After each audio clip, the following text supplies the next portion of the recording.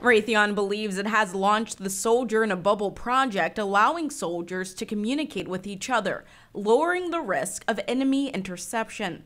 It essentially is a bubble of data placed around each soldier utilizing near field magnetic waves rather than radio frequency waves to communicate, making it harder for anyone to intercept or detect.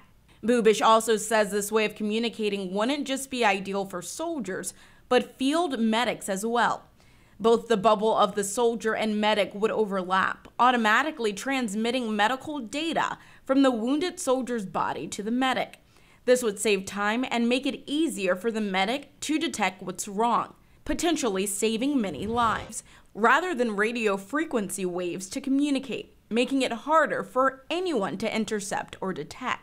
Bubish also Raytheon believes it has launched the Soldier in a Bubble project, allowing soldiers to communicate with each other, lowering the risk of enemy interception. It essentially is a bubble of data placed around each soldier utilizing near field magnetic wave. Medic would overlap, automatically transmitting medical data from the wounded soldier's body to the medic. This would save time. says this way of communicating wouldn't just be ideal for soldiers, but field medics as well. Both the bubble of the soldier and